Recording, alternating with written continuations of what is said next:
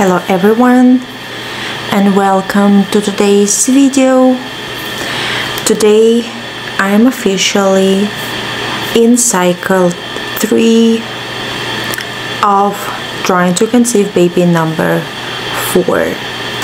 Yes, this is cycle number 3 and it means that I started bleeding, I'm on my period, I'm cycle day 1.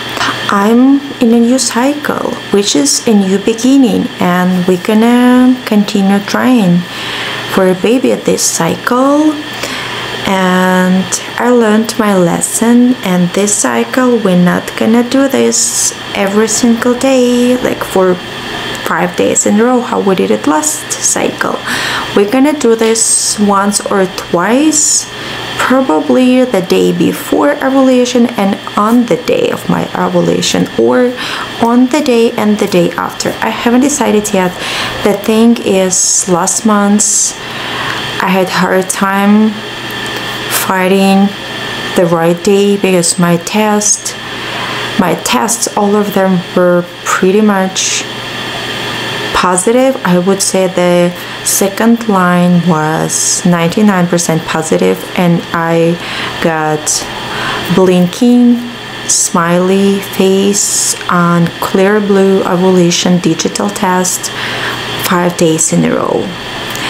And it was very confusing because having flashing smiley face for five days in a row it's a little bit kind of too much for smiley face and yes i was having this face for five days in a row. And i got literally i got extremely tired having it for five days in a row this smiley blinking face. And finally after that i got a solid smiley face which is ovulation and this time around i don't know. I have no idea when i'm gonna be ovulating because two months before um, I ovulated on cycle day 10 slash 11 and last cycle I ovulated on cycle day 14 every month is different. And also I wanted to mention that last cycle um, I was already 17 DPO and only next day I started bleeding which is more than I expected. Like usually okay like 14 days past ovulation and even okay let's say next day or even a day or two before you, you already started a new cycle. And in my case I was three days late which is fine, which is still normal, and I know that my body works just fine. So, yeah, this cycle we're gonna do the things differently. I'm not gonna add anything new. Everything is still pretty much the same. Progesterone cream, I'm gonna start using it uh, at about three days past ovulation and until I get a negative. I mean, if I get a positive I'm gonna continue using it. If I get a negative at like 12 dpo I'm gonna stop using it. Because you need to stop using it in order to start your period.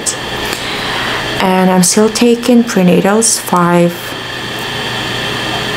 mg 5 mg yeah 5 mg and I'm okay with this and I stopped taking baby aspirin because because of my bruises. So right now I don't have it here but yeah I have some bruises here and there on my body and this is not good. I just need to stop. Yeah. And that's it guys. I'm in a new cycle. Last two months were not successful for me for us and I just live my life and trying to conceive. I don't want to build my life around TTCing. I want to squeeze this TTCing in my life because my life is so busy, so intense, and when you're constantly thinking about testing ovulation period symptoms. It's just a lot. It affects you a lot. You're constantly thinking about it. And you know those days when i'm between first year of my period till I would say like first seven days of my period of my new cycle I feel relaxed. I know that nothing is gonna happen. I'm just bleeding. And I feel relaxed and I rest. I'm resting because I know that after that I need to start testing. I need to be a little bit with some pressure on my shoulders because I need to find the right day to do this. I need to test and I don't have to miss. I just can't miss anything. I have to test like in the morning, in the evening, if it's around ovulation because who knows when it's gonna happen and it's just a lot. And after that, even if I know that's I'm gonna start testing at 8 DPO this kind of eight days in between ovulation and testing it's it's hard. Because you're constantly thinking oh, okay what about what is the, this symptom? What is that symptom? What does it mean? What is like what is it?